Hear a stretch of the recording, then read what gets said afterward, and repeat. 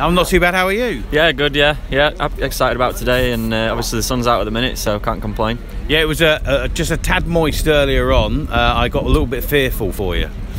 Yeah, to be honest, I don't mind if the weather turns a bit sour, because uh, you know it. Um, it sorts out well. It gives us people from Yorkshire a bit of an advantage, doesn't it? I suppose. so uh, yeah, if it, if it rains, so be it.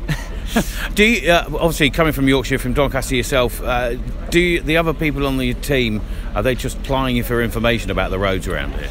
Yeah, I mean, I don't know it like the back of my hand. Obviously, Yorkshire's a big county, but I have, um, because I don't live too far away, I've come and recorded all the stages, so I do know them now.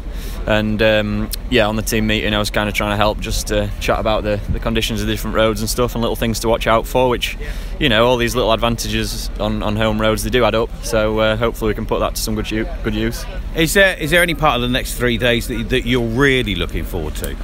Um, I'm looking forward to the whole, whole lot. I mean, I, don't, I don't know how the race is going to unfold. To be honest, it's easy to make well, it's hard to make predictions, but I think ultimately uh, anything could happen at any point over the next three days. You know, tomorrow's supposed to be the, the sprint day, but it's uh, it, it could be absolutely split to pieces. So yeah, it's just going to be a case of staying vigilant and taking the opportunities when they come up. I think. And is there anything over the next three days that you look at the course that you're a little bit fearful of?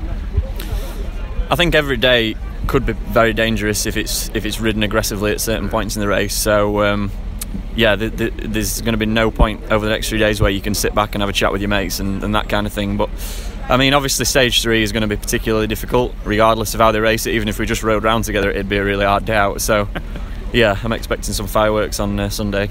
Well, I was going to talk about Sunday because my wife's doing the uh, Tour de Yorkshire uh, Sportif on oh, yeah. Sunday morning, and I, I, wonder, would you have any advice for her ahead of that uh, ride out? 50k she's doing on Sunday morning. Yeah, yeah, 50k. You know, it's a fair old distance still, and um, there's plenty of climb. So I'd just say respect the event that you're doing, get a good night's sleep, good meal the night before, get up and have a decent breakfast, and uh, all those little simple things they go without saying, but a lot of people miss them. And take some food with you, bananas and flapjacks and what, whatnot, and you'll you'll be all right. And just uh, ride within yourself. Yeah, I shall pass that on to you, yeah. uh, Tom. Good luck. Thanks very much for joining us. All right, pleasure. Cheers.